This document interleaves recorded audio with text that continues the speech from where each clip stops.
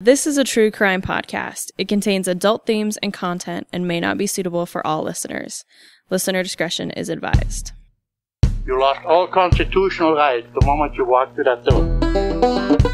When the judge said down there, I sentenced you to 10 years at the Idaho State Penitentiary, you walked in that door, you was a number. And the inmates understood that. If you're out there and live past the period of being here, just lay down and do it. Those inmates that were here in the institution during an execution, it had an impression on them that maybe was still with them to some extent. Maybe they don't think about it anymore, but it, it had a, an impression on them, I'm sure. They wouldn't let me out until I get back to stuff. Seven months later, I give it back to them. That was one of the one of the problems we ran into. You had five or six guys that were sitting in a place smoking and joking and drinking coffee. Pretty quick, they'd hatched a plan in there to, to get under your skin some way or, or try to figure a way out. Welcome, ladies and gentlemen, to another episode of Behind Gray Walls, a podcast about the old Idaho Penitentiary and the men and women who serve time here. Now, you're probably thinking, this isn't normally the voice we hear right after the theme song. That is because we are missing our good friend Anthony today, but we have replaced him just for a couple episodes with someone that you've heard on the podcast several times before and someone who has done incredible research and I know is going to have an awesome episode for us, Samuel Anderson. So, Sam, welcome. Thank you for having me, Skye. I'm so happy that you're here. And I think maybe we should start with yours first. We'll get you in and, and uh, get you used to the, the spotlight, as it were. Thank you. I appreciate that. It's a pleasure to be able to step into big shoes to fill. Don't worry, guess. Uh, Anthony's not going to be gone forever. I'm just going to be stepping in just for a minute but I think we have some pretty fun inmates to talk about. Today. And and I guess also I forget that Anthony and I like to sort of banter at the top. So how have you been doing? How's uh how remind me how long you've been here at the pen and stuff. So I've been at the pen um, for about a year and a half now. I uh, started in um, 2021. I'm currently the technical records specialist. I um, basically help Anthony. I, I, do a lot of research for him and a lot of uh, genealogy and family research for guests who come in. Nice. How has being back in Boise? Oh, it's the best. I mean, home is doesn't matter how long I've been away or where I've been, home is the best. And now we get to record in studio, and I'm not my my audio quality isn't terrible. So thrilled about that. And of course, you beat the snow. You you left the mountains before any big I, storms. I did, I did, um, which is good because I'm not a skier, so uh, I would have been stuck there for until all the snow melted, which would have been fine. But you know, it's it's. I'm I'm glad I was telling you obviously before we started recording that I left right as the leaves started to blow off the trees in in Sun Valley. But here, the leaves are still changing. In my backyard, we have a giant oak tree that only a few leaves have changed, so it's kind of fun to get to experience like two different falls. So thrilled about that. Boise is a beautiful fall, and it, and it is different than the mountains. Mm-hmm, like the mm-hmm. colors are different, the time of year it happens. Mm-hmm.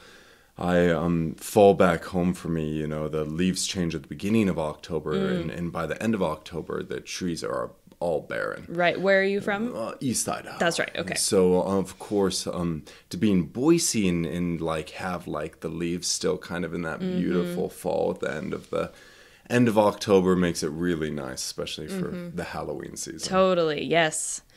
Well, I think that I can't wait to hear about what you've you've got today. So let's uh, let's start with you. Let's see what you got. So the inmate I'm talking about today is uh, Chester Arthur King, and some of the sources I used while researching. The biggest, as you're going to see, is the Wall City Bulletin, which of course was the newspaper used by the inmates during the 1930s.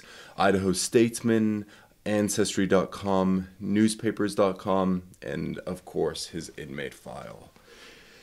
Now, Chester Arthur King was born on October 23, 1916, in Tuttle, Oklahoma, to Nellie Marie Cooper, who's only 16, and his father, Charles Arthur King, who's 25.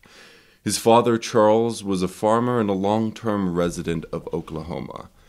King unfortunately would have a difficult childhood. His mother, Nellie, would pass away on April 16, 1931, at the age of 31. According to the prison records, King's mother died when he was only 12. Mm-hmm. However, based on his mother's death certificate, I think it's probably more likely King was closer to 14. Still, either way, he was quite young. Mm-hmm. Obviously, losing a parent is hard at any age, but it's especially hard when you're just a kid. And it's pretty clear her death had a pretty big impact on young King. The death of his mother would be one of the factors to cause King to drop out of school in the seventh grade. Like so many other low income kids in the era, King would go to work in order to help provide for his family. Later, the parole board would describe him as having poor childhood opportunities. In 1934, at the age of 17, King would commit his first crime and be jailed in Newcastle, Oklahoma on March 23rd. Four days later, on March 27th, King would be sentenced to a year at the Oklahoma State Reformatory on the charge of assault with a deadly weapon. King must have been pardoned early because on January 30th of 1935 he would be caught again, but this time he would be charged with larceny. And do you know the the details of any of those crimes? You know, I couldn't find anything about the assault with a deadly weapon. Hmm. It took me forever to even find out why he was in that hmm. reformatory to begin with. I don't know if it was because he was a minor hmm. or because it was perhaps not a very newsworthy event. Sure. But yeah, I, I'm kind of dying to know what that was. Yeah, that happens sometimes where you're just like, I would give anything to know what this is, but I just can't find it anywhere. So, okay, good. and it's a small detail, but I feel like it's important Yeah, too. You yeah. know, the with the theme that always instigates the crimes to come. Right. Anyway, uh, on January 30th, he of course is caught stealing. Do you have any guess of what King might have stolen? I mean, it could be anything. Maybe this is in the 30s in like Oklahoma area. Maybe like some cattle. Under his alias Doyle Ike Smith, King was actually caught stealing groceries. Oh, well, yeah. Unfortunately, that kind of makes sense. Yeah, you know, this is the Great Depression, Right. you know, very impoverished family, uh, especially coming straight out of jail or, or the reformatory. You can definitely see that kind of influence some of these behaviors. Uh, he, of course, would be given a $20 fine. Unfortunately, this is a pattern we would continue to see. Over the course of the next year, in three months, King would be caught and charged for four counts of minor larceny.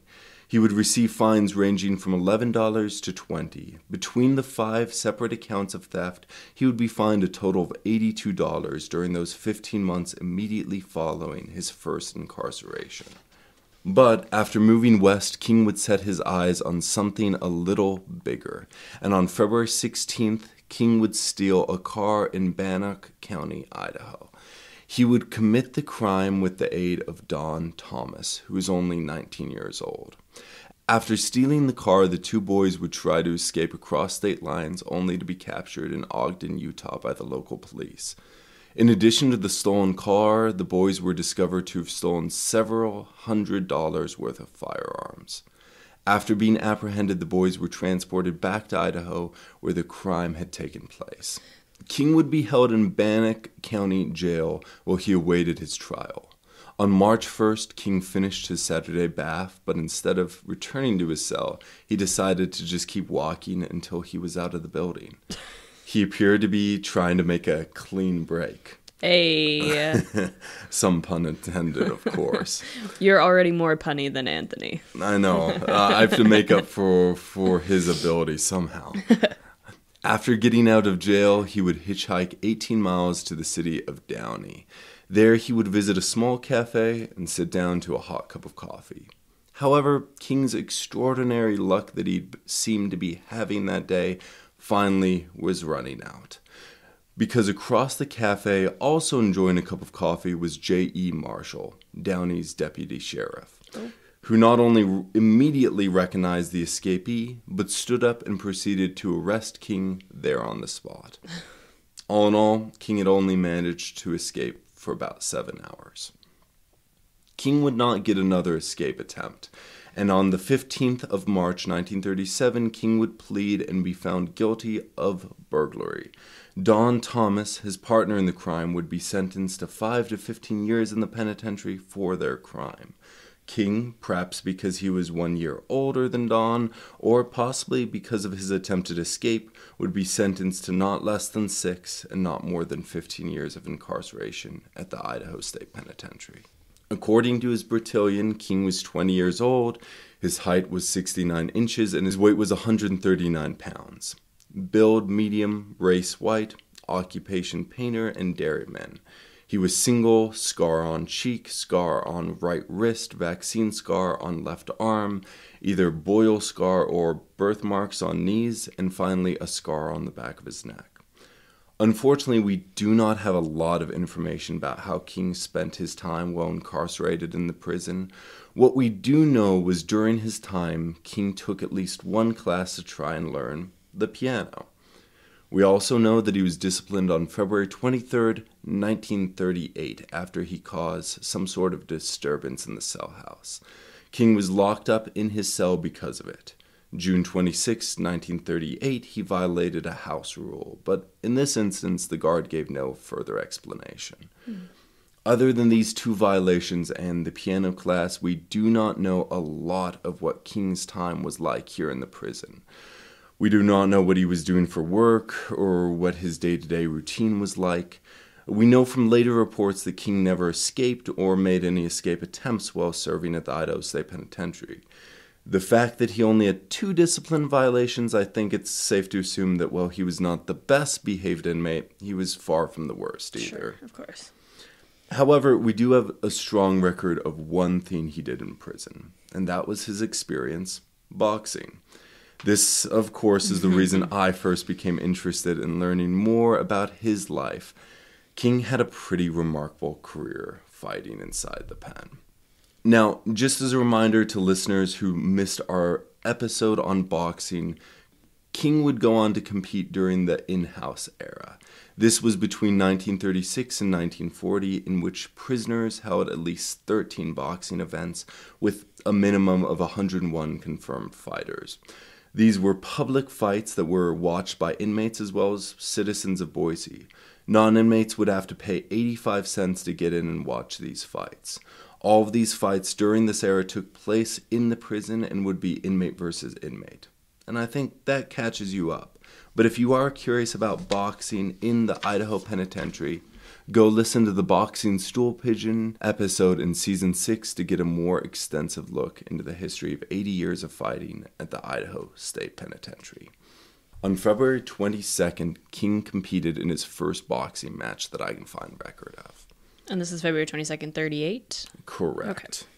Prison plans fights today. Idaho State Penitentiary will offer 36 rounds of boxing today, beginning at 1 o'clock as part of the observance of George Washington's birthday. It was announced Monday by A.W. Hodge, State Prison Sports Dictator. Director. I like the idea that he's the sports dictator, though. The main event bout on the program will pit Harry McJudkins, 181 pounds, against Gilbert Raff, 190 pounds, in a seven round exhibition that alone is sure to give the fans a fighting good time, Hodge said. Other bouts on the card are Ernie Draper, 137, meets Leo Clark, 140, in the six round semifinal. Bill Bevins, 170, tangles with Virgil May, 182, in another six rounder. Charles King, 138, will trade blows with Cecil Willard, 138. I'm always lost in terms of like weight classes. So 138, what sort of weight class would that put him in? That's actually kind of an interesting bit of history. That that puts him in a, basically the welter class. Okay. So a little less than middleweight.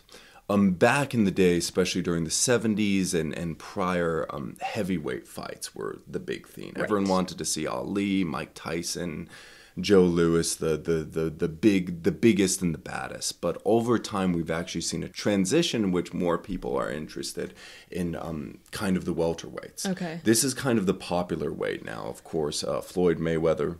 Um, Conor McGregor in Mm-hmm. over in MMA land.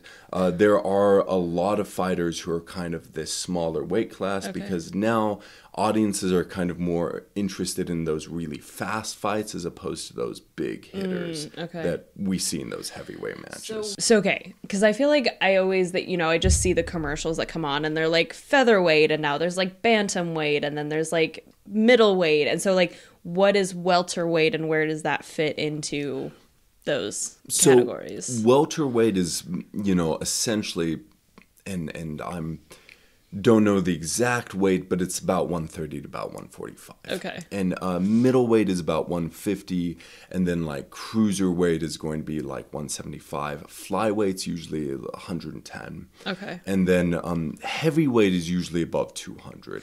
We've also seen a transition over time too, in which um, with the years gone by, heavies just got bigger and bigger. Right. Uh, in Ali's day, it was typically about 220. Um, you know, now with Mike Tyson Fury and Deontay Wilder, it's usually like 265.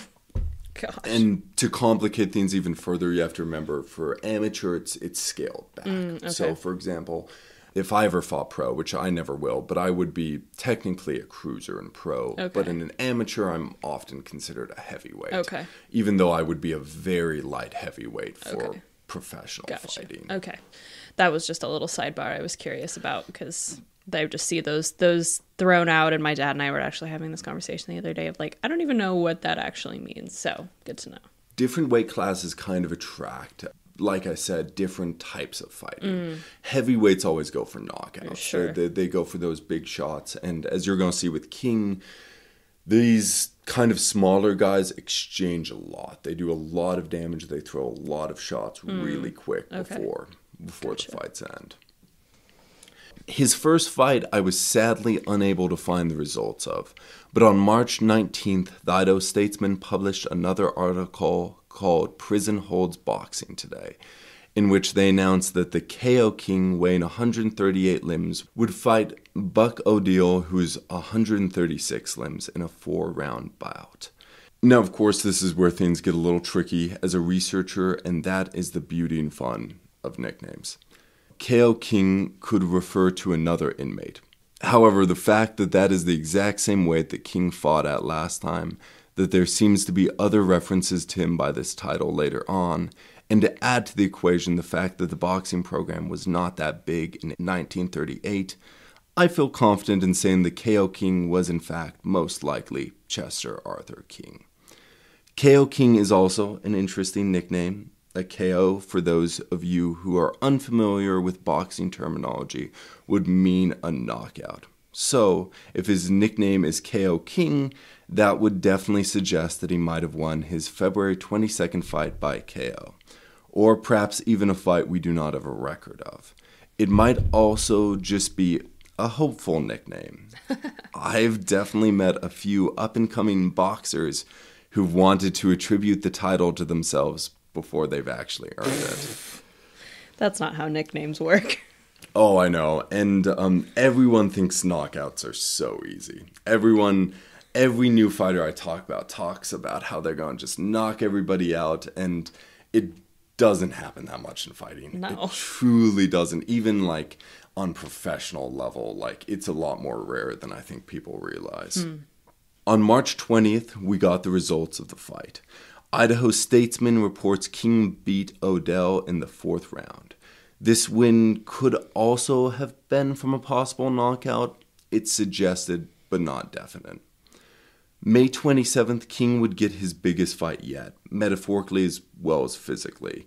King, who only weighed 135 pounds, would fight Aaron Draper, 147 limbs, for the prison welterweight title. This was a six round championship bout. Not only Draper, the prison welterweight champ, but he also outweighed him by 12 pounds. This is what the Idaho Statesman would have to say about it. A second six round bout will feature two scrappy lads in a bout for the prison's welterweight championship. Chet King, 135 pounds, will spot the present title holder, Aaron Draper, about 12 pounds. According to the prison officials, Draper tips the beam at 147 pounds. Well, I do not know the exact results of this fight. The fact that King does not defend his title on Memorial Day's fight card makes me suspect he lost this fight. Here's an interesting side note. Don Thomas, the inmate incarcerated with King for stealing the car, would also compete in boxing match on May 27th. I do not know the outcome of this fight, nor do I have anything suggesting he ever had another match. It seems that King's friend Thomas did not find the ring as appealing as King did. King's next fight would take place on Memorial Day. It was not uncommon for boxing events at the prison to have comedy bouts, as we've talked about in our last boxing episode. In the early days, the comedy bout was held before the first fight, but later on, into the 70s, this would become a halftime tradition. These comedy fights were wild and had a large range of variety. The Memorial Day card is a great example of this. The July Clock, written by Bud, said this about the spectacle.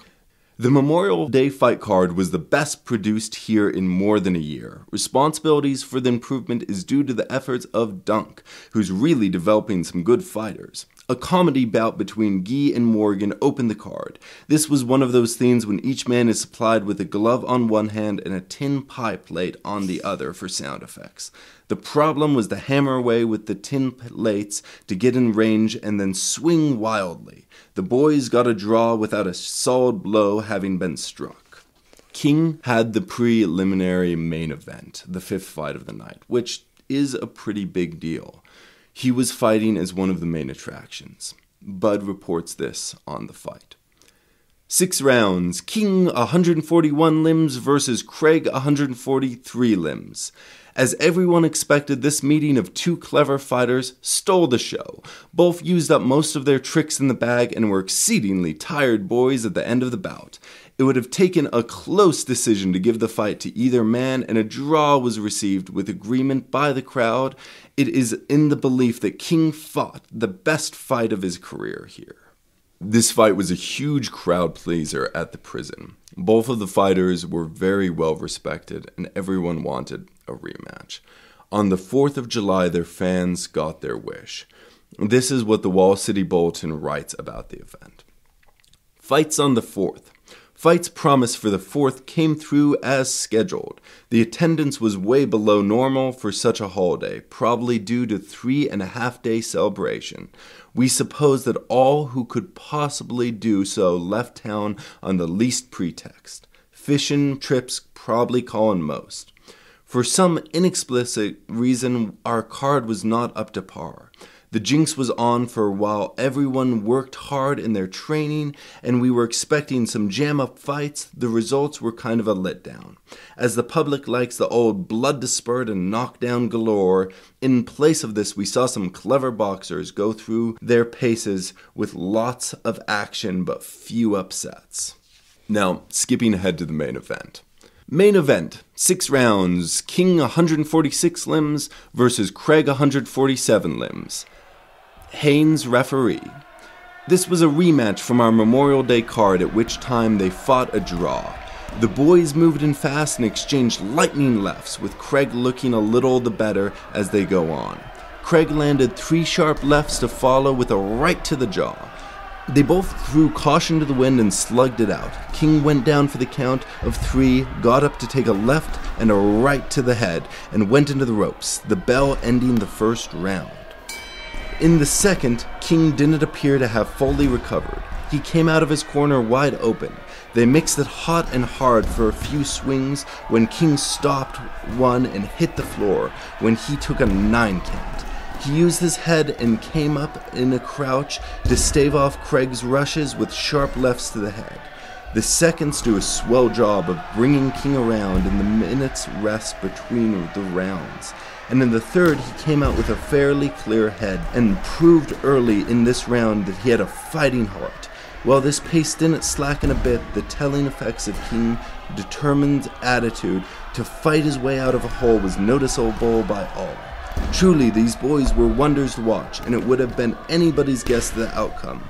The blows were raining in too thick and fast to count. The fourth round was a repetition of the first, and the seconds minus the knockdowns. King sensed his slight advantage and proceeded to go to work. His blows came fast and with telling effect. His punching ability had Craig in the muddle, and Craig was bleeding from the nose and mouth most of the round. King was not able to land a true blow with his right, as Craig, though tired, was able to get away in time. In the fifth, it was still either's fight, though King seemed less tired. He started his old 1 2 to take the round by a big margin. Craig had absorbed a lot of punches, and at the end of this round, he was a very tired boy, but still fighting for all he was worth. In the sixth, Craig looked better again, but sensed to have lost his KO punch, landing several but without much damage. King's comeback was a surprise, and the last half of the round they were slugging toe to toe, King getting the decision. Quite the uh, the fight. It sounds really exciting. It seemed like he was out that first couple those first couple rounds, and then he came back, and that's very exciting. And that's like what we love to see in sports, right? That's what sports are about. It's also fun to see sports writing Yeah. back before we you know this was definitely not being filmed. And so inmates who want to relive the experience or, or miss the fight night for whatever reason um the bud the author of this really put a lot of work into trying to mm-hmm. make the audience visualize what was actually going on in the mm-hmm. fight. Mm-hmm. So once again, this fight will be under the nickname Punchy King, but based on what we know, this is still our guy. King's next fight was on Labor Day, which he would fight against Kid Osborne. This is what Bud would say about that fight. The sixth bout, as far as it went, was one of the best of the day. Scheduled for six rounds, Punchy King versus Kid Osborne, 149 limbs. Started like a miniature war. Osborne came out of the first bell to set the pace, which was fast and furious, never giving King a chance to box as he would have liked to. At the bell, King was groggy from the terrific punishment. The second round started like the first. Osborne boring in, and in the center of the ring, it became a given and taking proposition. Both boys giving as well as taking until King finally went down for a seven count from a hard right to the jaw. But he came back gamely, although much weakened to land lefts and rights to Osborne's jaw. Osborne hesitated as though to get set to finish the job soon, then sailed in to stop a well timed right to the left eye, opening an old wound and making blood spurt all over the ring. But Osborne still won the round. Between rounds, Osborne's eye was patched up the best way possible, but in the third round, the tape was soon knocked off, and the eye was evidently bothering him as it was bleeding profusely. And King was trying to measure him for the famous 1 2, working on the eye continuously, but at the end of the round had failed to slow the kid down. The boxing commissioner stopped the fight because of Osborne's eye, giving the fight to King as a technical KO. Uh, I bet. So it, the way it sounds is the other guy actually probably would have won had it not been for that wound. You know, and and that's a wonderful question, and and I don't know. Um, King, as as we've seen just in the last couple of fights, had a really incredible ability to get hurt and come back from it. You know, he could have done a similar thing as he did in the last fight, in which he took damage and still kind of pulled it back together by the end, or uh, maybe Osborne would have had him. And that's definitely one thing you learn as fighters. Like once you have your opponent hurt, whether it's a cut, whether it's a broken rib or whatever, you go for that spot. You you you you don't lay pressure off it because if you can get a KO or in this case a technical KO, it's worth working those injured spots. Boxing is fun, but boxing is brutal. Yeah, and um, especially cutmen back in the 1940s would have been pretty gnarly. The field of cutmen has gotten a lot better over the years, but um, still, it's kind of gnarly to have like almost a trained medical position just trying to patch you up so you can keep going. That's crazy, man. Now, King's last fight I've record on would take place that Labor Day, which unfortunately had a rocky start to the entire event with a somewhat vague and cryptic description of the comedy fight. This is how the article starts.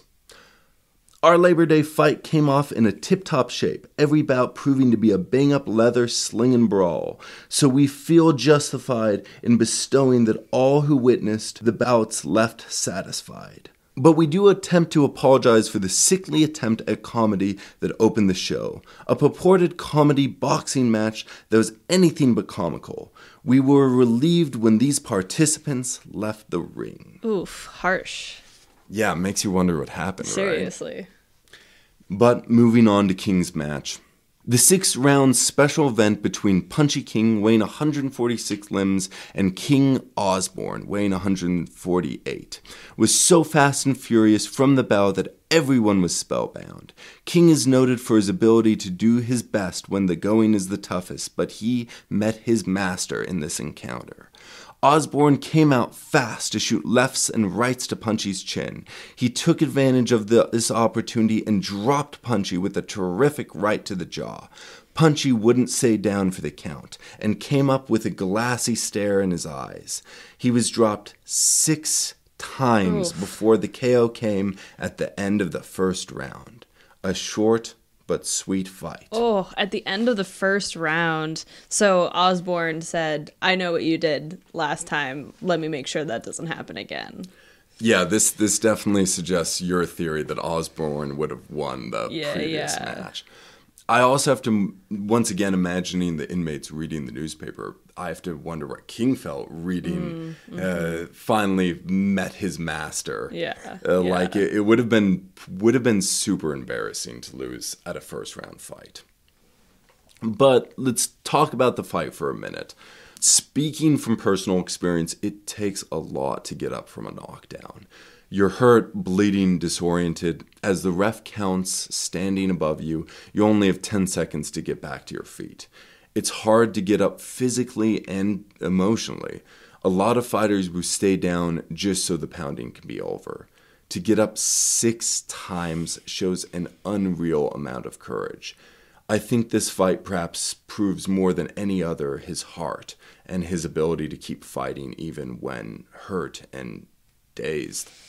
Totally. I think I did some sparring like once and I got hit a couple times and I had like a little head thing on and it wasn't like jarring. Like I wasn't hurt, but it just was like this is really hard. Like this is really brutal. And yeah, I cannot 6 times is a lot. And and I guess I also thought when you first said it it was like 6 times in the whole fight. It was 6 times in the first round, which is what like 3 minutes. Yeah. So it had to just been like punch, knockdown, punch, knockdown, and that like that is hard. But that I think you're right that that that does take a lot of heart to to do that. Well, and that would never really happen in modern fighting. Mm. You know, if you're going down that many times, they'd stop, They'll step in and it. stop it. Yeah, the doctor would probably step in and stop it if the ref hasn't. When you go down, you you are often really disoriented, and it's like really hard to kind of get your feet back under you, and like both being on the receiving and the reciprocating end of that, it's it's pretty brutal. Six times, like you said, mm. just over and over again. Well, and they mentioned in that article that he came up with like a glassy look in his eye, and that is, you know, like you said, I mean, because especially in all sports now, there's so much more emphasis on concussion protocol and and that dazed look in people's eye.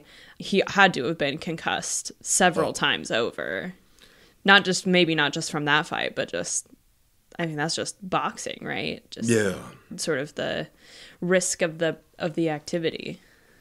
Yeah, so when I was doing the boxing project last year, I did a lot about brain damage and um, specifically death in boxing. Um, you know, the, there is death in boxing. It's actually less common than you might think, um, especially compared to like football. Um, the brain damage is it's pretty bad, but it's not necessarily as bad as, as other sports. Right, For example, and I'm I'm not calling you out here, Skye, but um, for amateur uh, boxing versus college soccer. Uh, soccer players get worse brain damage than boxers. Well, yeah, I mean they're heading that ball and and uh, heading each other. I was a goalkeeper, so I never I never had to do that. I let everyone else do that, and I got to use my hands. But yeah, I mean absolutely. Um, I remember uh, a couple World Cups ago, uh, Germ there was a Germany was playing, and this German guy got a concussion and they took him off the field just to make sure he was okay and he like at that time they didn't have very good concussion protocol and so they let him back onto the field.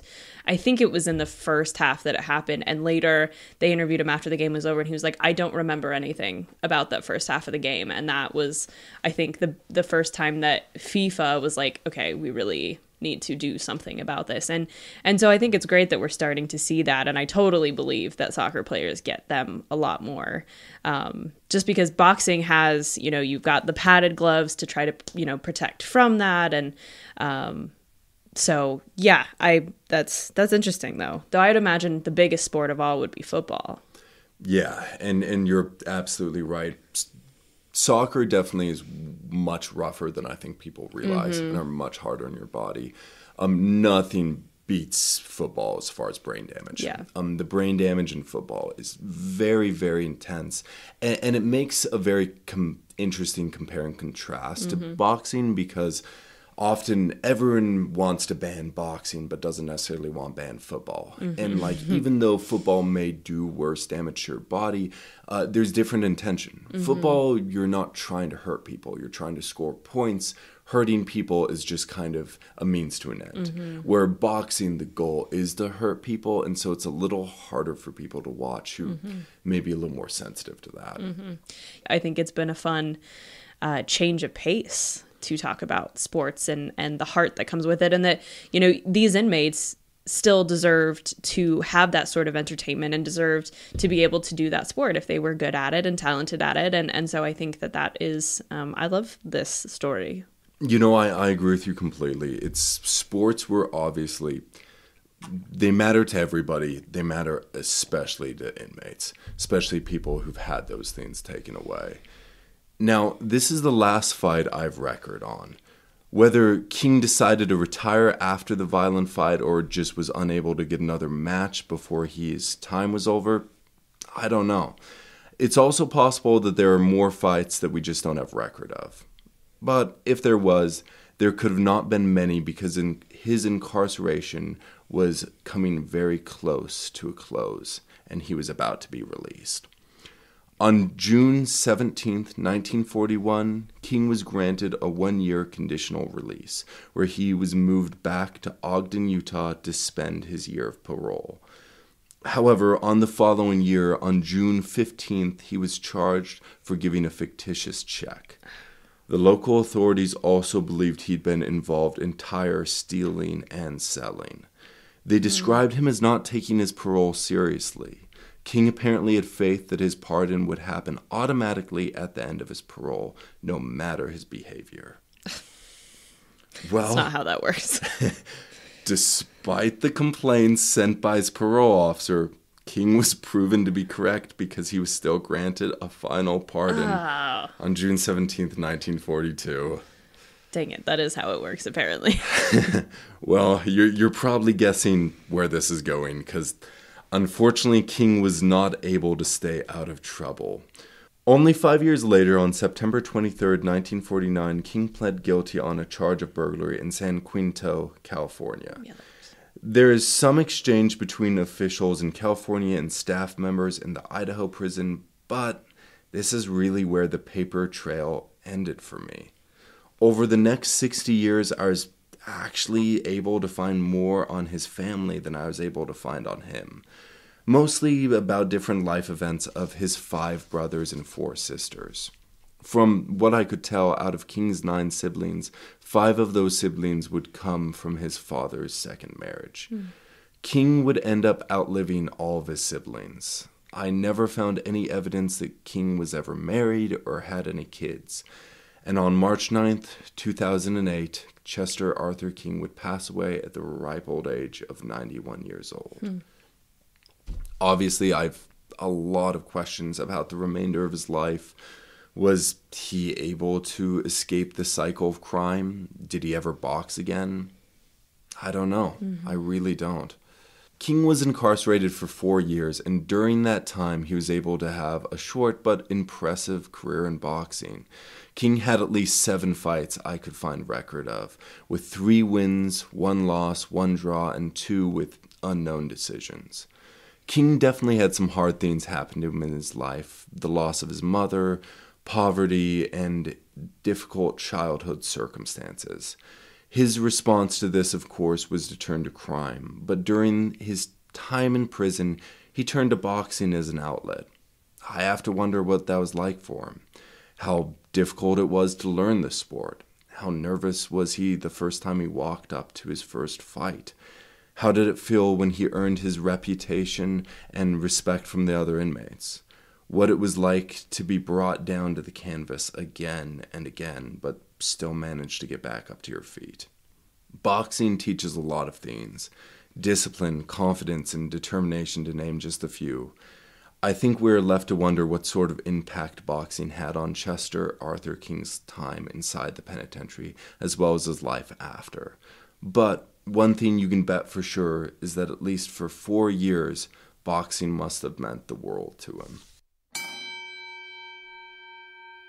That's so true, and and it gave him an outlet, um, you know, in prison to you know be able to do something besides you know work and and be incarcerated, and and I do think it's great that the the the uh, sports dictator uh, director um, allowed that to to happen, and and there may be some people who say, well, they're in prison and they should be punished for it, but again, you know, just a reminder that these are people.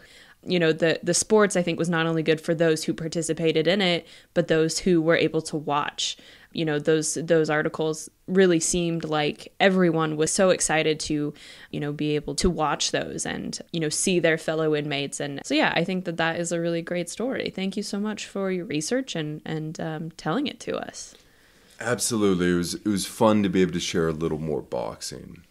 Before we move on to our next inmate, which I'm sure is going to be fantastic, uh, we actually have a very exciting announcement for the fans of the show and guests of the site.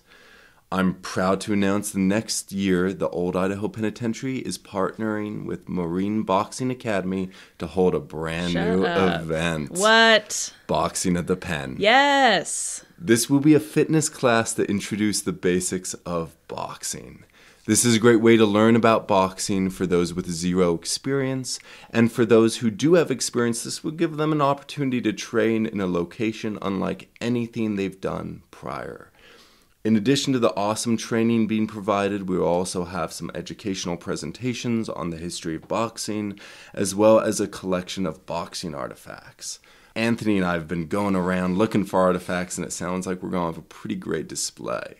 We will have food vendors, so whether you love boxing, you're casually curious, or you just want to hear some great stories, please come join us on April 8th, 2023 for an awesome experience. A lot more details are to come, so keep an eye out. Oh my gosh, that sounds so fun. I'm actually going to be in Los Angeles for that, and I'm so sad. Uh, I actually uh, trained with Daniel, who owns the boxing academy that we're partnering with. He was at uh, the gym that I was learning how to do boxing at, and he's a great coach. And I know that he's brought Ryan over with him, and Ryan is an excellent coach. Are you a coach there? No, Were I, you to train there? I've I've trained with Daniel and Ryan. They've they've cornered me for several fights. Um, they're both such Yeah. great guys. Yeah, just just they have so much heart, so much compassion. They really care about their fighters. They make kind of a dynamic duo, as as I'm sure you remember. They're they will definitely put together a fun class. wherever. Ah, I want to go so, so bad. That's so fun. I've also been trying to get us to do sports in the pen forever. I've been trying to get us to do like a three on three basketball tournament on the basketball court. So maybe this will be a, a way to get, you know, sports incorporated with the site because they did happen here. So that's so awesome. Uh, definitely recommend anyone who's interested in signing up. Boxing is such a good workout, even if you never fight, um, and it's it's fun to like learn all those movements and and uh, you really start to feel really strong and that maybe even if you don't fight, you know, within the boxing, you at least maybe could defend yourself on the street if you needed or whatever. But that's so fun. I'm so jealous. I wish I could be there. We'll, we'll take lots of pictures. For Yes. You. Don't worry. Don't Yes. worry. Well, thank you so much. That was great. and they blow the whistle for breakfast. The cooks would have breakfast ready, you see, and they'd walk in there and serve them their breakfast. They'd go sit down and eat their breakfast, and uh, and then they, they'd go back out in the rec hall, and, and some of them play cards, and and uh, we had a boxing ring out there, and uh, Really? some of them would uh, box a little bit, and uh, and. Uh, uh, walk and exercise, and then they'd play ball out here in the yard. And they have their own things that they'd done during the day, you know. But we just had to keep our eye on them, so. Well, I'm, I'm excited to hear what you have for us today, Scott. Well, unfortunately, there is no boxing in my story today. It's a lot about the Dust Bowl, which is not nearly as exciting. But today, I am talking about number 5304, Mary Turner Hansom. So, sources for this story are the inmate file, newspapers.com, um, especially the Idaho Evening Times and the Idaho Statesman, ancestry.com records, which I actually didn't think I would be able to list as a source because finding her was nearly impossible. But in my in my outline, it says in all caps, "I found her" with three exclamation points. So I think I was very excited when I finally found her. Congratulations. Thank you. A web page on the Dust Bowl from the National Drought Mitigation Center from the University of Nebraska, and that website, if you're interested, is drought.unl.edu slash Dust Bowl. It is actually a really cool uh, resource. Digital history project called Homesteading the Plains Toward a New History, which is it's a digital, like I said, digital history project companion to a book of the same name by Richard Edwards, Jacob K. Friefeld, and Rebecca S. Wingo the archives.gov article on the Homestead Act, an article called April 14th, 1935 Black Sunday Dust Storm by Jenny Ashcraft on the Fish Wrap, which is the official blog of newspapers.com. I don't know why it's called Fish Wrap, but okay. And then an article called The Lesser Known History of African American Cowboys by Katie Nodjimbadem um, from the Smithsonian Magazine in 2017, uh, a History.com article on the Dust Bowl, and then uh, just two Wikipedia articles The Chickasaw Nation and the Agricultural Adjustment Act. So. Mary Turner Hansom was born Mary Turner near Cass, Texas on November 27th, but the year she was born is a little unclear because different records list different years. So it's most likely 1893, but it could be anywhere between 1890 and 1901. Her parents were Alexander Turner and Ona Allen Turner. Now, I want to pause here for a second and note that Mary is African American. Her father was born in Georgia while slavery was still legal. So, following through on his ancestry records, it seems that he actually was born enslaved, which is, I think, is a reminder that slavery was is a lot closer to us than we think. So, uh, it seems wild, but that she, you know, her father was born uh, enslaved. She noted on her intake form that she was born on a plantation in Texas. Of course, if she was born in the 1890s or even in the 1900s, it would not have been a plantation with enslaved labor, but it is probably a place where both of her parents worked as uh, domestic servants. Mary was the oldest of six kids. She had younger brothers Robert, Floyd, and David, and younger sisters Ruth and Katie. Between the 1900 and 1910 censuses, the family moved to Chickasha, Oklahoma, which is part of land under the jurisdiction of the Chickasaw Nation. So I, I promise I'm not saying that wrong. But even at 17 years old, according to the 1910 census, Mary was already working as a cook for a private family somewhere nearby. The 1910 also lists Mary as living with her Uncle Jerry and Aunt Annie in Chickasha. This may have been who she was working for, but the census says she was a wage earner outside of the home. So probably she probably wasn't working for her family. I'm also not sure why she would be living with her aunt and uncle instead of her parents, but it could just be she needed a job and that was where she got a job. Then on September 11th, 1911, she married a man named Jimmy Hansom. Jimmy, maybe James or Jamie, was a general laborer about three or four years Mary's senior, and this was really the only thing I could find about them hmm. or their marriage. But the couple did reside in Chickasha near her family for nearly 24 years, according to U.S. city directories. I couldn't find any evidence of any children that the couple may have had, and she never claimed any on her intake. And like I said, we really have very little details about her during the marriage. We do have one U.S. city directory that places her in Chickasha in 1935, but by all accounts, probably around this year, she moved with her mother and one brother, David, to Twin Falls, Idaho to escape Oklahoma and Texas at the height of the Dust Bowl. Yeah. Here's a little bit of Dust Bowl history. So much of the information for this section, unless otherwise stated, comes from a great website called the National Drought Mitigation Center at the University of Nebraska at Lincoln. And again, it's a really well put together site. Highly recommend checking it out. So the Dust Bowl, quote, technically refers to the western third of Kansas, southeastern Colorado, the Oklahoma Panhandle, the northern two thirds of the Texas Panhandle, and northeastern New Mexico, end quote. But the Dust Bowl really affected the whole country in similar ways that I think we can understand over the last few years in terms of what we call, you know, supply chain issues and stuff like that. Yeah, absolutely. So the Dust Bowl often gets conflated into like one big event over the 1930s, but it was really four separate drought events that happened in such quick succession that the regions never were really able to economically recover before the next one began. And the causes of the Dust Bowl can be traced back to the 1920s. So, the Great Plains, this area that the Dust Bowl really happened, had always been a difficult place to try to farm. There were some inaccurate accounts of the region's agricultural potential. So, people came in and said, Oh my gosh, this is such a great place to farm, just because, you know, they wanted to make money on selling land and stuff Yeah. like that. So, that, uh, you know, inaccurate accounts of the potential combined with new farmers' inexperience of the very different conditions of the region. So they often came from the more humid parts of the country, and as we know, the Great Plains is not humid, a very different set of soil conditions. And so all of these combined meant that uh, proper land management practices had rarely, if ever, been implemented in this Great Plains region. It was a common thought in the 19th century that the climate would change and become more hospitable as humans settled in the region, and so the government passed several pieces of legislation in the hopes of enticing more settlers. But then, as we learn, no one knows how to, to farm here. Um, it's not really great for farming, and so it just causes more and more problems. The Timber Culture Act of 1873, quote, was based on the belief that if settlers planted trees, they would be encouraging rainfall, end quote. Then we also know about the Homestead Act of 1862, which gave people 160 acres for free if they lived on it and improved it for five years.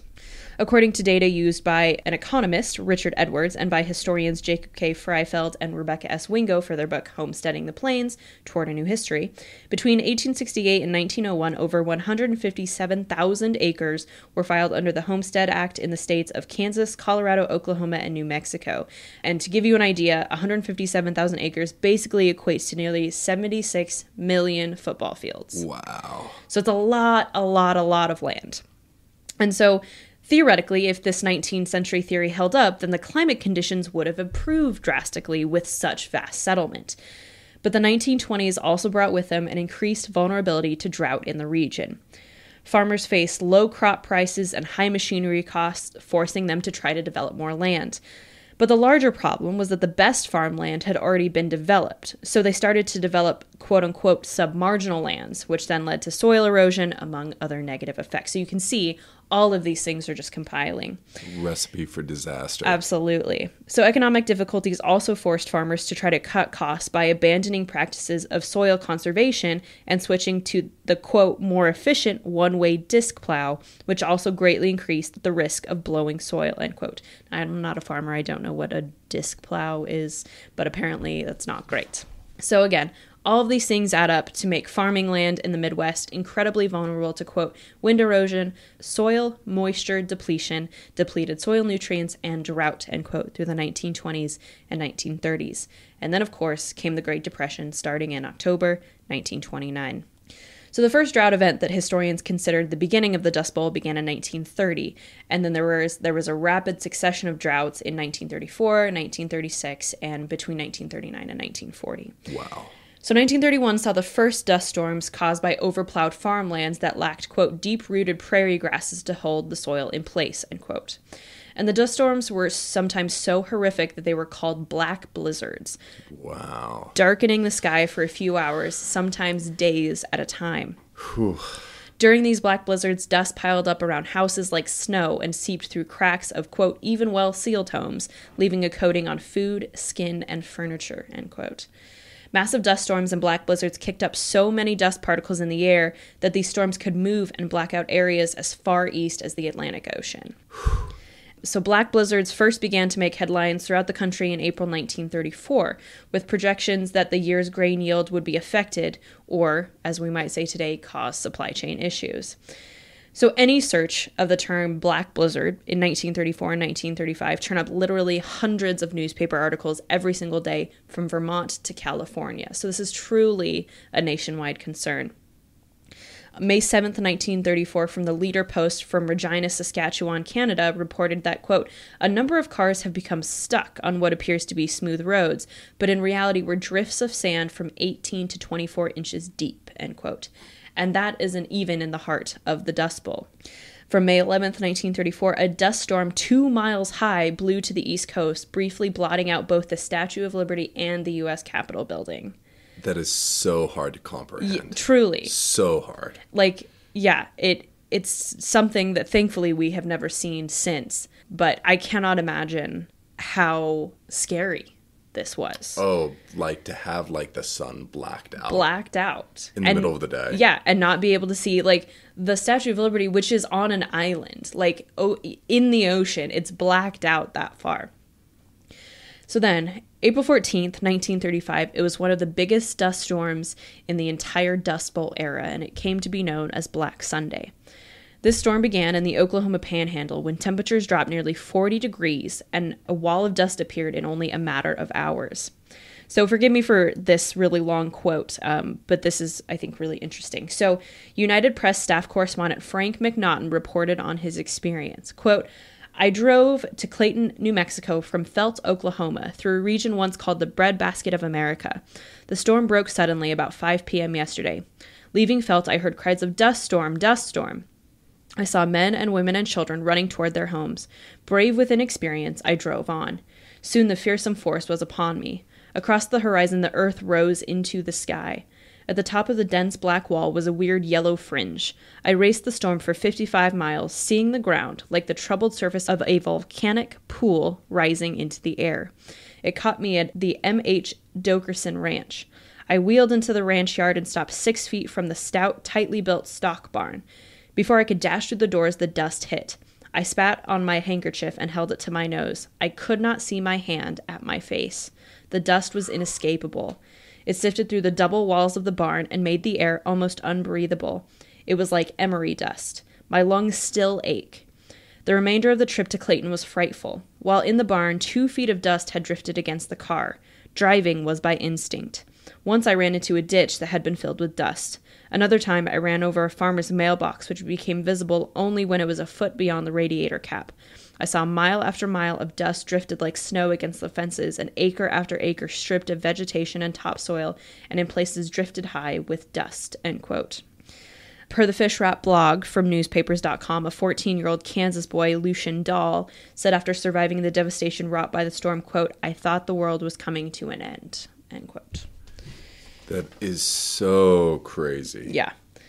Sorry, I have more because I, I think I really went down a rabbit hole and was, again, this is something we cannot imagine because I think because we've we've tried to do things to mitigate something like this happening, but just the devastation that came with this. Hundreds of Americans became sick and developed pneumonia from the dust they inhaled during Black Sunday, and many of them died. After Black Sunday, Robert Geiger published an article titled Life in Dust Bowl of United States Being Ruled Today by Three Words If It Rains, end quote. And this was the first time that the term Dust Bowl actually appeared in the American lexicon, and so Geiger is credited with the invention of this phrase after Black Sunday. Um, as I said, on April 27th, 1935, Congress passed the Soil Conservation Act in response to this event. And this law was passed, quote, to provide for the protection of land resources against soil erosion and for other purposes, end quote. Now, one of the goals of this program was to plant trees across the Great Plains to act as windbreakers. But Frank McNaughton reported, quote, few ranchers have any faith in federal soil erosion projects. What can man, with tractors and listers, do to control a destructive phenomenon that ravages thousands of square miles, end quote. And unfortunately, 1935 and Black Sunday was just the height of the Dust Bowl. It continued for years. So from February 27, 1937, the Bluefield Daily Telegraph from Bluefield, West Virginia, gave a detailed description of these black blizzards three years after black blizzards were first reported. So this is going on for years, half a decade at least. So, quote, the words that make the above caption of Black Blizzards have not the deep significance to our readers in this favored locality that they do to the people in the Midwest. Recently, in the Oklahoma Panhandle, black blizzards raged for four days, closing schools, stranding buses and other highway traffic, and creating distress for residents, many of whom donned dust masks for protection. This is a visitation of the terrific dust storms that have swept the Middle West and Southwest for years as a result of intensive cultivation, dry weather, and freakish high winds. Guymon is a town of more than 2,000 population in Texas County, Oklahoma, one of the three counties that make up the Panhandle. The other two counties are Cimarron and Beaver. These counties border Texas on the north. It is here that the black blizzards have struck with greatest fury. In one small town, according to Guymon reports, 11 deaths resulted from influenza wow. and pneumonia cases that have been aggravated by the dust. Traumatic pneumonia has been the cause of death when persons in excellent health suffered congestion of the lungs because of breathing foreign particles. This form of pneumonia does not result from a disease germ. Men have died because their lungs were congested with sand. Mm. In a railroad accident, a passenger fell into a pool of muddy water. He died a few hours later, not from drowning, but because he had breathed dirt into his lungs. Mm. Oklahoma physicians fear there will be cases of what they call dust pneumonia. One physician of Guymon explained that one of the worst effects of the black blizzards was suffered by persons who breathed the dust, thus aggravating sinus and throat trouble. The winds have been sweeping over western Oklahoma from both Texas and Colorado. The black blizzards turn day into night in many communities in Oklahoma, Texas, and Kansas. The tearing gales ripped winter wheat out of the ground, blowing the dry soil for miles in heavy black clouds, hence the descriptive black blizzards.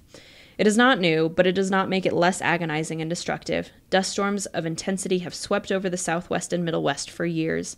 They are expected to get worse instead of better, for as the protective covering of grass over former rangelands is broken and the soil is exposed, the drying out process is accelerated.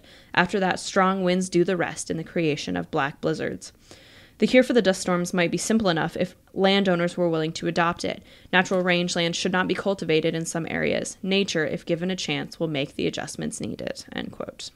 When thinking about storms, it's it's you always imagine yourself going inside and being safe. Mm-hmm. But in this case, you know, the dust is going through the cracks. Mm-hmm. Like you there's nowhere you could escape. No matter where you are, you're breathing. Yeah. You're breathing it in. Breathing it in and it could kill you, which I oh. think is something like I don't know if I could think I mean, I'm sure there is, and, and we are very fortunate to live, I think, in a place that has very few natural disasters. But to think about the weather having such a direct effect on your health. Yeah. Which is so interesting. So farmers were incredibly hard pressed to find solutions, and the federal government had to step in to make the biggest and most long lasting changes.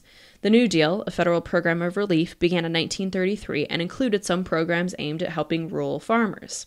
And the most important of these was the Agriculture Adjustment Act, and this was designed to boost agricultural prices by reducing a surplus of crops. So basically, the government paid farmers subsidies to slaughter animals and leave uh, and either plant less or just leave fields empty completely. So the New Deal was the first time that the federal government was so active in attempting to alleviate private problems. So it made it possible for the government to pass drought specific relief programs that even the most individualistic farmers were willing to accept. Per the NDMC website, a variety of federal drought relief programs had the following goals, and this is quoted directly from the site because they say it far better than I could. So the goals were, quote, providing emergency supplies, cash and livestock feed, and transport to maintain basic functionings of livelihood and farms and ranches, establishing healthcare facilities and supplies to meet emergency medical needs, establishing government based markets for farm goods, higher tariffs, and loan funds for farm market maintenance and business rehabilitation providing the supplies, technology, and technical advice necessary to research, implement, and promote appropriate land management strategies, and finally, removing trees and planting new trees to alleviate psychological stress and create shelter belts, end quote. So these were all the things that the federal government, through the New Deal, were trying to do to prevent this from happening again. But as the NDMC states so eloquently, quote, as important as these, as these programs may have been, the survival of a majority of the families and enterprises undoubtedly rested solely with their perseverance and integrity, end quote.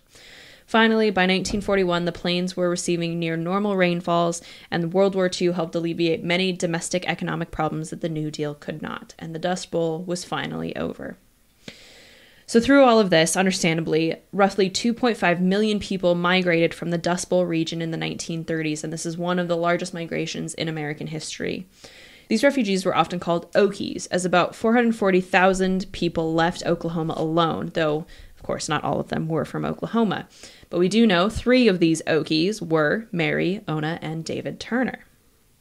And over half of these Oklahoma migrants settled in the San Joaquin Valley of California. So keep this in mind for Mary's story. We'll, we'll go back to Mary. So, Mary, Ona, and David were living in Twin Falls, Idaho in late 1935, early 1936. Mary had become close with a young man, Charles W. Harris, who was a porter on the trains. The Idaho Evening Times reported first in April 1936 that they were just boarders at the same boarding house. But in May 1936, the Idaho Evening Times reported that Mary was, quote, living as the wife of Harris, end quote. But regardless of whether they were married or living uh, just in the same boarding house, it seems clear that Charles and Mary were a bit more than friends. Charles was also African American, born in Reno in April 1901, and the Idaho Evening Times reported that he was, quote, said to have been a nephew of Henry Harris, early settler of the southern Idaho section, end quote. I think the Henry Harris referred to by the Idaho Evening Times was an African American foreman at the Sparks Harrell Company, which was a company of cattle ranches. This was also, interestingly, the company that Diamond Field Jack Davis worked for Huh. when he earned his nickname Diamond Field. And Oh, crazy. um, if you want to hear more about his story, Anthony did cover him in episode 23. So, if this Henry Harris is the same one, he was a black cowboy and he was carrying on the legacy of a host of black cowboys from Texas. Many formerly enslaved men who gained experience in working with cattle and horses who were able to get job as cowhands when slavery was no longer legal. As the West continued to expand, black cowboys were central to the building up of the physical space of the West as well as the creation of the mythic Wild West in American imagination. And I really, really, really recommend checking out an article in the Smithsonian Magazine from 2017 titled The Lesser Known History of African American Cowboys by Katie Nodjimbadem if you really want to know more about black cowboys like Henry Harris. And I, I highly recommend because there has been a lot of historical scholarship that has come out that says so, you know, so often we think of cowboys as often these white cowboys, which of course there were, but that this uh, central idea of this cowboy myth does come from these black cowboys. Absolutely. Doing a lot of that research about the Old West this year. So there's so many stories that aren't looked at and, and the black narrative in the mm-hmm. Old West is one of them. Mm-hmm. I've seen reports with as high as one fourth of the settlers and cowboys and miners were mm. were black. Yeah. And like that's a huge part of settlement that doesn't get talked about. Mm-hmm. The like you said, the iconic Wild West, the the black cowboy was a big part of it. And so much of that started in Texas, which is having lived in Texas, I learned that they do take on this identity as a as a western part of the country, which I'm always like there's a whole half country that's further west than you, but okay. So anyway, Mary and Charles were close, or at least Mary believed they were close. Charles might have felt differently. We don't really know, but we'll see why there may be a discrepancy there. So it seems that Mary, who worked either as a quote unquote domestic, which usually meant a housekeeper, or a cook, or perhaps both, uh, she worked for a man named William M. Tomlinson, who I think was living about an hour away from Twin Falls in Richfield, so she may have had to commute. It's a little bit unclear as to why, but it does seem that for some reason Mary was giving Charles money um, as she worked. Charles, however, was taking that money and pocketing it for another woman whose name was Elizabeth Wolfe from Tulsa, Oklahoma, quote, whom Harris said he would marry, end quote. There are also some reports that Charles was physically abusive to Mary during their relationship. The Idaho Evening Times on May 14th, 1936 reported that in the past, Mary had been, quote, thrown down an office stairs by Harris, suffering injuries which sent her to the hospital, and on another occasion was choked by him, end quote. Jeez.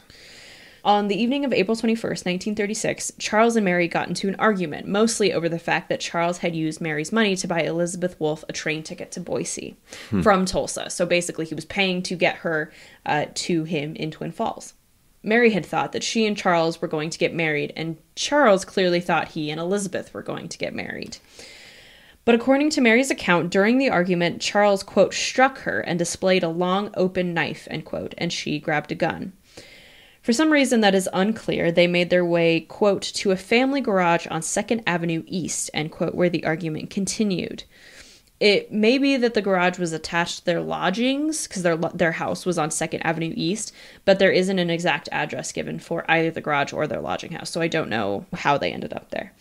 At some point, as Charles was walking the way, the gun discharged and Charles was shot in the back.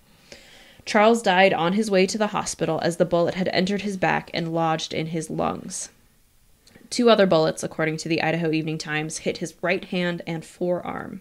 As soon as she saw Charles on the ground, Mary realized what she had done and immediately gave herself up at the sheriff's office and turned over the gun. The sheriff asked if she had shot someone, and she replied, No, I didn't, though she was nervous and weepy throughout, and understandably quite nervous. The sheriff then asked if someone was dead, and she said, No, I don't think so. She was immediately charged with first degree murder and held without bond. She pleaded not guilty, and her preliminary trial was held on April 27, 1936. The only witness at Mary's preliminary trial was Mrs. James E. DeVault, in whose yard the shooting occurred, who stated that, quote, Mary Hansom opened fire at Harris at a distance of about eight feet, end quote and no witnesses came to Mary's defense in this preliminary trial. So her real trial was scheduled for May 11th, and that is the same day that jury selection began. A venire or jury pool, of 50 people were called, but the next day they actually ran, ran out of potential jurors because I think this had caused quite a stir around Twin Falls. And so Judge A.B. Barkley had to issue a call for a special venire of 20 additional potential jurymen. Interestingly, by the time the jury was picked, every single member of the jury was a man, even though women had been allowed to serve on juries in Idaho since 1896 and in the country since the 1920s. In fact, only men had been summoned in the venire entirely, according to the Idaho Evening Times on May 11th, 1936, which is interesting.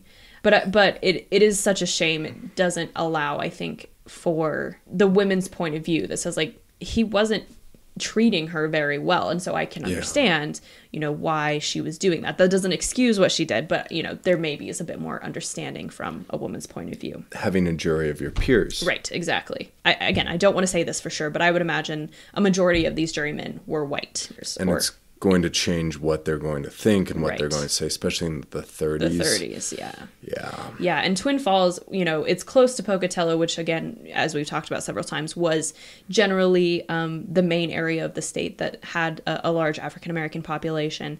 Um, so I, I, imagine this was a, a tough spot for her to be in. So her trial began on May 13th, 1936. The prosecution's argument revolves around the fact that Mary, who the state claimed was, quote, an undivorced woman, end quote, which I don't have any evidence to say either way, she had purposely murdered Charles after finding out that Charles was using her money to bring Elizabeth Wolfe to Idaho to marry her. The state called several witnesses, including a man named Ellisworth Garish, who allegedly sold Mary cartridges for the gun, and Sidney Craig, who supposedly witnessed the purchase. Even though the defense admitted that Mary did carry the gun, they claimed that it was for self defense after Charles had physically abused her several times. Mary's defense lawyer, W.L. Dunn, said that the defense tactic would be to prove that Mary did indeed have the gun, but she only had it because Charles had first pulled, quote, an open knife, end quote. They claimed that the gun discharged accidentally after Mary and Charles got in a scuffle over it, which I can definitely see the the argument of, but there is, of course, the evidence that he was shot three times. A gun yeah. doesn't discharge accidentally three times. The defense called five witnesses that all testified that the shooting was accidental, including Mary's employer, William M. Tomlinson. They called Dr. C. A. Eames, quote, who testified as to having treated the defendant for injuries caused allegedly by Harris, end quote. So again, they're really leaning into that this was self defense after he had abused her quite a bit. According to the Idaho Evening Times on May 15th, 1936, a surprise witness, Herman Yarborough, was, quote, recalled by the state in an asserted effort to impeach the defendant's testimony regarding an alleged conversation in which Yarborough is said to have warned Mary Hansom that her efforts to hold the affection of Harris would be unsuccessful, end quote. Mary denied ever having this conversation. Finally, the defense rested on May 15th, and the jury was released to deliberate at 10 p.m. The Idaho Evening Times said, said they deliberated for two hours before going to bed, then resumed deliberation in the morning. And at 11 a.m., they returned a verdict of guilty of voluntary manslaughter. As May 16th was a Saturday, her sentencing was scheduled for the following Monday. And on the 18th, she was sentenced to one to 10 years at the Idaho State Penitentiary. And she entered the state penitentiary that same day on March 18th, 1936. So, um, her intake form age 37, height 71 inches, which is quite tall for a woman, 145 pounds, build large, hair black, eyes maroon, complexion dark, no mustache, born Texas Plantation 1127. This says 1899, occupation cook. And interestingly, there are no marks whatsoever on her Bertillon. There is a Bertillon, but there's just like nothing on it, which is weird. Yeah, that seems low uncommon. Yeah, very, very uncommon. So it's kind of to me like, well, then why have it in there at all? But, Yeah. you know, that's what's in there. So I guess maybe she didn't have any scars. Though it should be noted that it does look like in her um, mugshot that she has one of her eyes is swollen shut. Yeah. Um, so there is that isn't. Inter- I mean, of course, that wouldn't be noted on her Bertillon because it's not permanent, but that could be, you know, perhaps uh, an indication she was being uh, abused and or at least you know getting into physical altercations in some way. Because I would imagine if her eye was sort of naturally droopy like that, they would have noted that. But Yeah, the photo definitely looks like she's been hurt. Mm-hmm. You know, it, it doesn't look like a natural thing. It looks like someone who's yeah.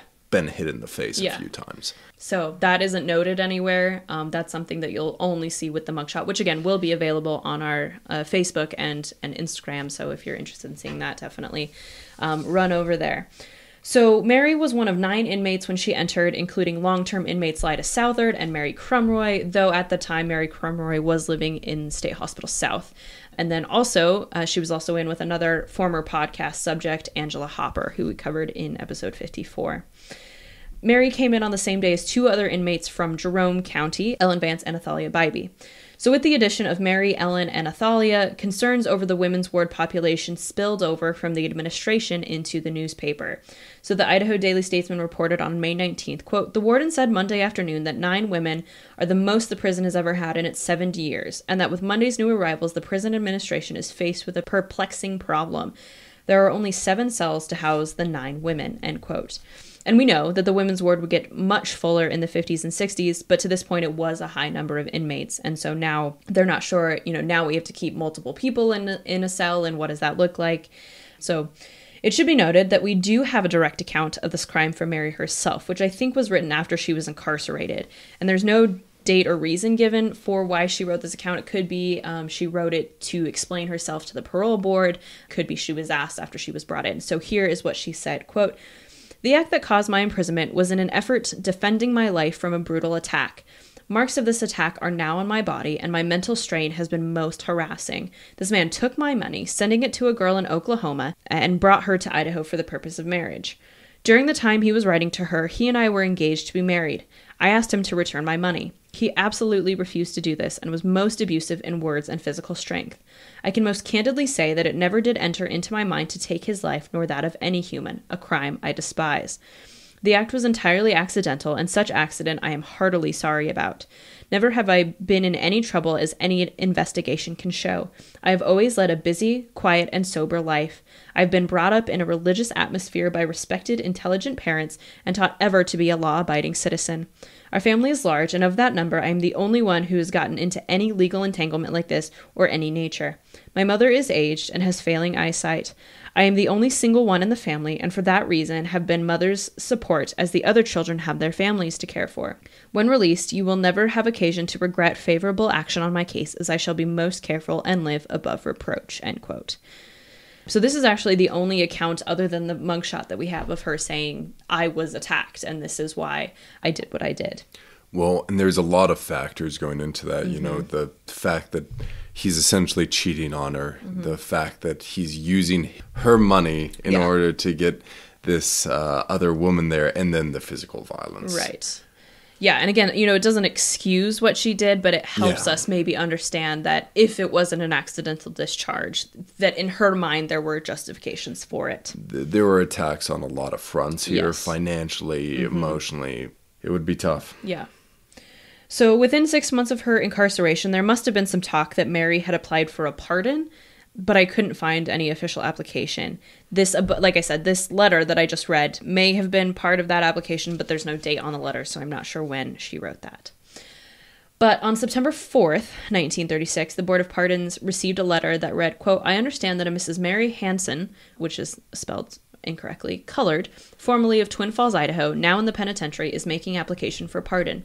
Some friends of mine in Twin Falls and at Hagerman called my attention to this case some time ago. I hesitated to do anything then, but upon further urging, I made such an investigation as I could of the facts and the record. I feel entirely justified in urging upon the board favorable consideration of this application. Without going into detail, it seems to me that, assuming she was properly convicted, justice has been administered fully, and that she is entitled to the favorable consideration of the Board of Pardons. End quote and this was signed by Senator William Borah on letterhead from the United States Senate huh. Committee on Foreign Relations, and that's that's what he was on that Committee of Foreign Relations at the time. But that's a big deal. Like William Borah, still to this day, is like a huge name.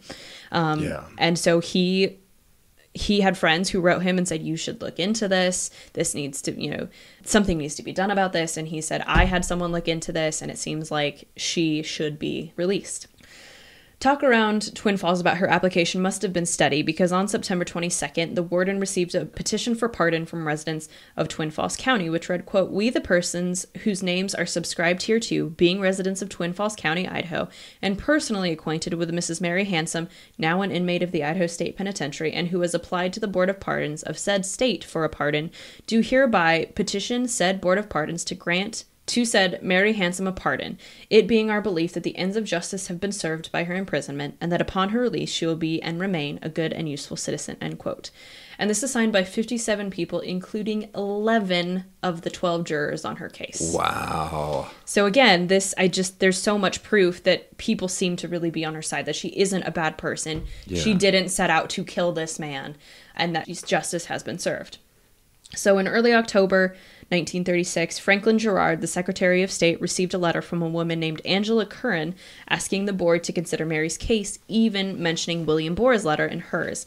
And I don't know Angela's relation to Mary. I think Mary might have worked for Angela's family on the Curran family farm, but their relationship um, was never fully made clear. So again, people are just continually writing. Um, she was not paroled in September or October. After the holidays, on January 25, 1937, Mary wrote a small note to the Board of Pardons for the April meeting. Quote, I shall certainly deeply appreciate your favorable action on my release. My minimum time will have been served on April 18, 1937. My family and self left the dust stricken area to make our home in Idaho, and my aged and not well mother has not been in the state long enough to benefit by the old age pensions. I having no dependents and the logical one of my family to assist her. At present, three good positions are open to me.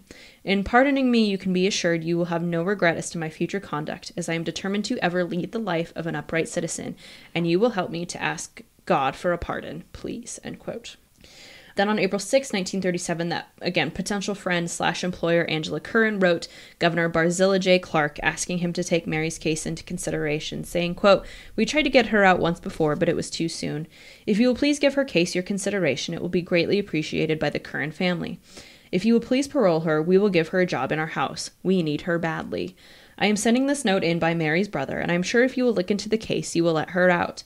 It would be a great pleasure for all of us if you would stop at the ranch when you go through, as we would like so much to have you.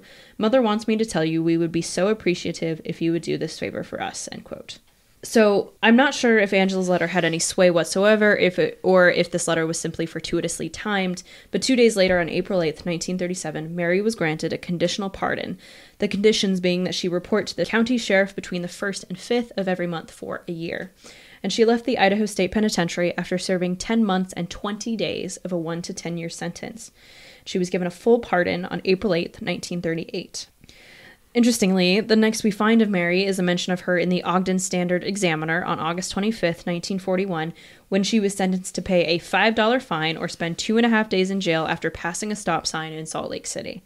I don't know why she was in Salt Lake or what option she chose there, but from Utah, she moved next to Stockton, California, where on June 21, 1942, she was arrested for disturbing the peace under the name Mary Maggie Hansom.